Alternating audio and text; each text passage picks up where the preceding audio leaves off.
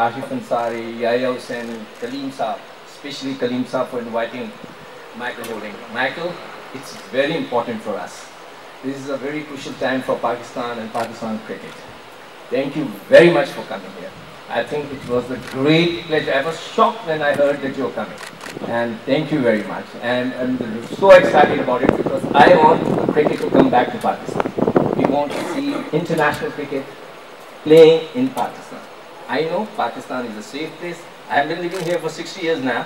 So I know nothing's going to happen here. So I request you, my personal request, whenever you go back, please tell them, uh, tell all the cricketers around the world that Pakistan is a safe place.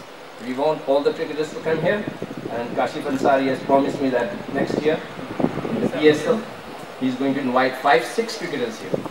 So please, it's a personal favor for Pakistan, right?